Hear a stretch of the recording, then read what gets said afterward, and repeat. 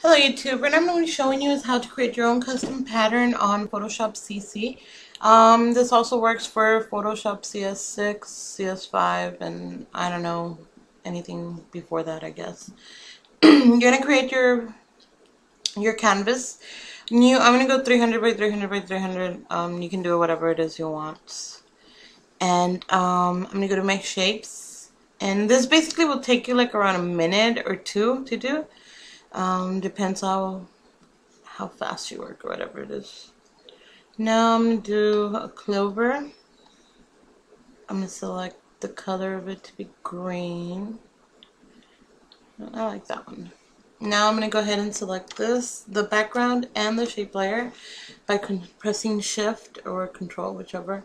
Um, you're going to go your selection tool and I'm going to go ahead and align it in the center and in the middle. Now um, go to your shape. You're going to go to filter, other, offset. Uh, just click OK. And here you're going to type in half of whatever your canvas is. Since I used 300, I'm going to do half of 300, which is 150. Make sure wraparound is selected and click OK. As you can see, it's sent it to every corner. Um, that's good. That's what you want. Now, what other shape we can use? You can do whatever basically, but if you want to keep doing the clover, I guess we'll keep doing clover. And maybe have it change to a different color, like a darker green. And then I'm just going to go ahead and select that and press control and select the background layer.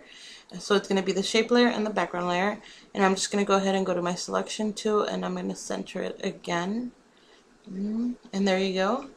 Now, um, here is where you can play around with it. Um, if I go to green and maybe do like a nice little whatever green and put it on the back, um, uh, that's going to be my pattern. You can do basically whatever it is you want to do, whatever color, whatever shape, you do it. Um, then I'm going to go ahead and click shift, select all of them, and then I'm going to go to edit, and then I'm going to go ahead and press define pattern and name it whatever it is you want. Press OK. Now let me show you what we've just created. I'm going to go to new. just going to keep it like that. And then here I'm going to put a, a gray. I like a gray. I always add like a medium gray or something to my thing whenever I'm going to use patterns or gradients or whatever. So I'm going to fill that with that and then I'm going to go to FX. You can either go there or right click on it but I'm going to go FX pattern overlay. This will open up and here is my pattern that we just created. And then here you can scale it down, scale it up. What? It's real nice. Mm, and that's it. That's how you create your pattern. Like I said, it takes you less than a minute, maybe two minutes at most if you don't know what you're doing. But yeah.